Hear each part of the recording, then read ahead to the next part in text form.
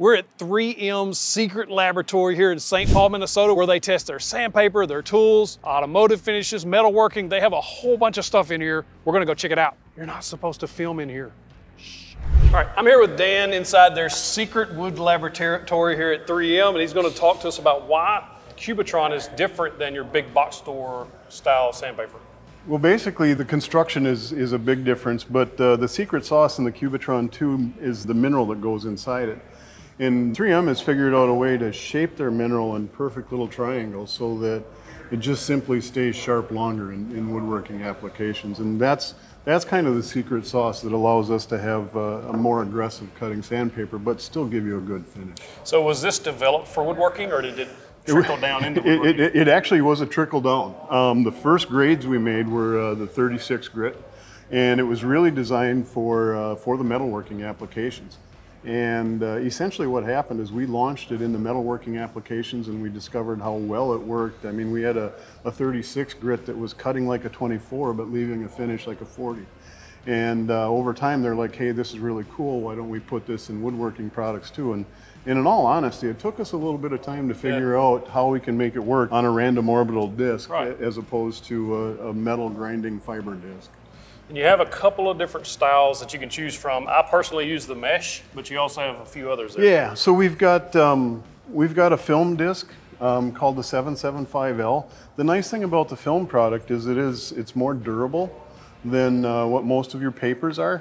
And uh, you don't see the, the film backing in uh, too many big box stores. And it right. really comes down to the durability. And the nice advantage of doing the more durable film in this case is we're, we're seeing better life out of our abrasive side. Um, so we want to get a little better life out of the backing as well. And this whole pattern will match any orbital sander. Yeah, the, the whole pattern is really designed to work with any backup pad uh, from any manufacturer. And what happens is the hook and loop creates a little bit of an air gap and it allows that dust to flow through the holes in the abrasive into the holes in the backup pad. So you won't see a multi-hole pattern if right. you're using a Stikit or a PSA type yep. of disc. And so we got some examples of you sanding with the non-hole version the versus the hole version with a dust extractor. What so you're getting better productivity when you hook it to a dust extractor. Why is that?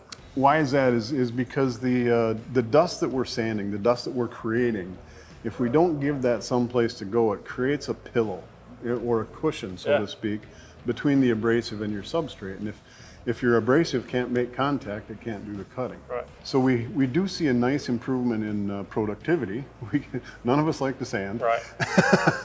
so it does help us get it done a little bit more efficiently, but we've also been able to recognize as much as 40% disc life improvement oh, by getting that dust out of there too. So on the disc life, itself versus something like the aluminum oxide or the silicon carbide, which is typically used in your big box store brands, right? Yes. And yep. so the Cubitron life is how much better, oh, you know, I, I was going to say, I, on average, I'd say anywhere from 30 to 40 percent. You're getting longer life. We're, getting longer life. We've and we've honestly, even compared to some of our other products, our, our aluminum oxide paper products, right. I, have seen this product go as much as 12 times. Oh wow! In, a, in, a, in the right application. So. Um, we, are always cautious. 3M yeah. tends to be pretty conservative, right. so I, I, can confidently say 30 to 40 percent, but I've seen much better. Nice. And you do have a sander. I've, I've reviewed this on the channel. We'll link that in the description. But this is a very nice sander. Uh, this is your electric sander, right? Y'all have a pneumatics, but most woodworkers are using the electric. What's special about this sander? So what what we uh, what we like about the sander, we've done a lot of work. Um, some folks have noticed the housing, obviously when we compare it to our pneumatics, the housing is quite a bit bigger. Um, but what we wanted to do is make sure and create enough airflow to keep the electric tools from overheating. When these are designed for uh, an industrial application, we've got somebody that may be sanding six out of eight hours a day.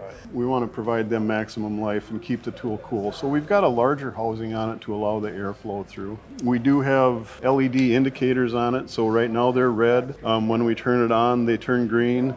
And then when we raise and lower the speed, we can it reveals the difference. And the right. nice thing about it is it's got a memory. So when we shut it off and then turn it back on, it comes back, comes right. back to the setting that we were one on. One of the, the main thing, the one the first thing I noticed about it, my first impression of this center was when I plugged it in and I hit that paddle switch was how little vib- vibration there is in the sander. Like that was, I was like, I was blown away by it. I'd done it on camera. I was like, oh wow, like this is Yeah, impressive. that obviously is one of the things that we're pretty proud of is, is low vibration and, and um, the orbit size helps. You know, having the smaller orbits Right. um, helps minimize felt vibration too, and which is important. It really is important. When you talk about the sander, you said airflow, right? That's with this sander is important that you have some type of vacuum system or dust extractor using it, and it's going to help with the with the cooling, but it also helps with the actual dust where it's getting your less Eh, productivity yeah. and all that. So Absolutely, y'all have a dust extractor too, right? we do. So I did a review on this also. Okay. And uh, tell me about your dust extractor. The nice thing about our dust extractor is it's got a twin filter system.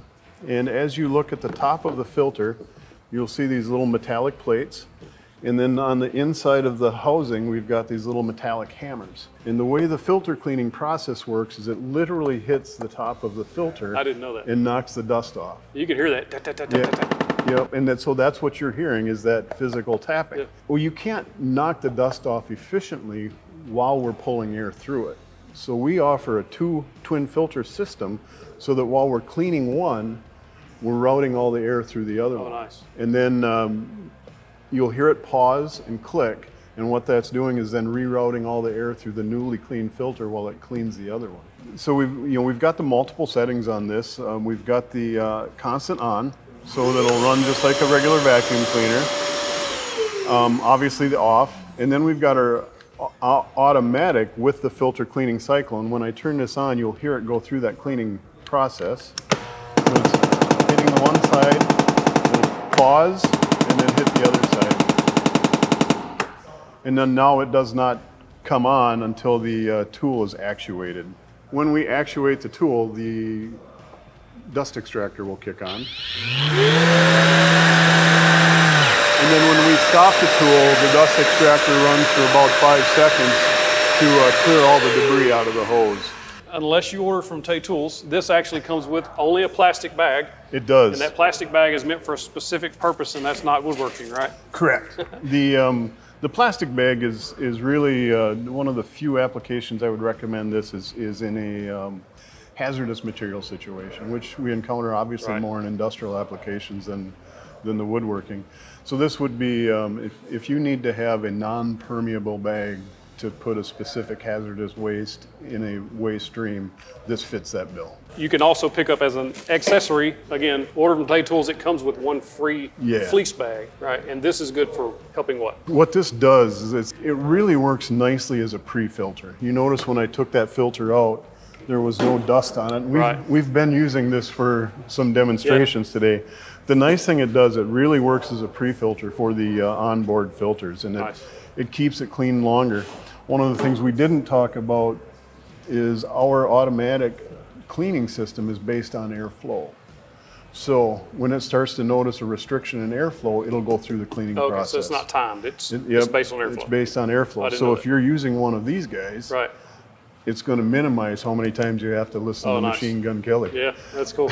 And I tell you, that's one of my, that was one of my, I guess, complaints in the reviews. It didn't come with these, but you're, you're marketing to so many different people. You've got industrial, you also got Yep. woodworkers, so it's kind of hard to, We've, to decide we've got who- people that aren't using anything. Exactly, You know, so- they just draw straws on Friday Yeah, afternoon yeah. to see who's going to clean But definitely, if you're woodworking, get the bag. It'll make this much more enjoyable to use. Yes. Mr. Dan, thank you so much for your time. Thank you. I investigated woodpeckers' high prices to see if they're actually worth what they're charging. Check out that video right there and find out.